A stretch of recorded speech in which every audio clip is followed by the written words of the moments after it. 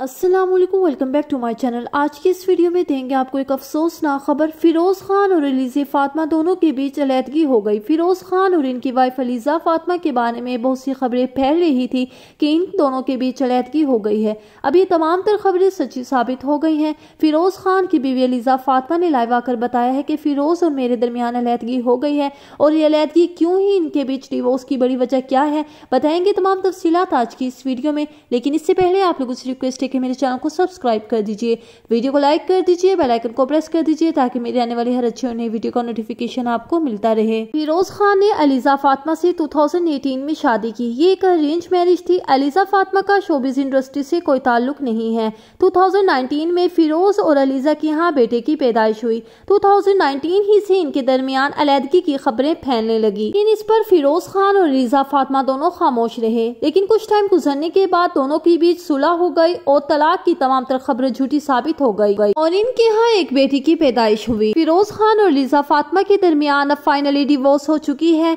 फिरोज खान की बीवी लीजा फातमा ने अपने इंस्टाग्राम अकाउंट के थ्रू एक स्टेटमेंट दी है की फिरोज और मेरे रास्ते जुदा हो गए हैं। अलीजा फातमा का कहना यह है की मैंने फिरोज से डिवोर्स ले ली है। फिरोज ने मुझे ना सिर्फ़ मेंटली तौर पर टॉर्चर किया है, बल्कि ये मुझे फिजिकली भी टॉर्चर करते रहे। अलीजा फातिमा का कहना यह है कि मैंने बहुत कोशिश की कि हमारे दरमियान डिवोर्स ना हो, लेकिन रोज रोज की लड़ाई झगड़े से तंग आकर मैंने ये फैसला कर लिया कि मेरे बच्चे मेंटली तौर पर डिस्टर्ब होंगे हमारे रास्ते जुदा होना ही बेहतर है। अलीजा का कहना यह है कि डिवोर्स का स्टेप लेना एक बहुत बड़ा स्टेप है। मैंने सिर्फ़ अपने बच्चों का सोचकर ये स्टेप लिया है। और डिवोर्स मेरे लिए एक बहुत बड़ी सैडनेस है। तो ये थी मेरी आज की वीडियो कैसा लगा है आपको इस वीडियो के बारे में जानकर? अपनी कीमती राय के साथ कमेंट सेक्शन में ज़रूर कीजिए। और मेरे चैनल को सब्सक्राइब कर दीजिए वीडियो को लाइक कर दीजिए बेल आइकन को प्रेस कर दीजिए ताकि मेरे आने वाली हर अच्छी नई वीडियो का नोटिफिकेशन आपको मिलता रहे।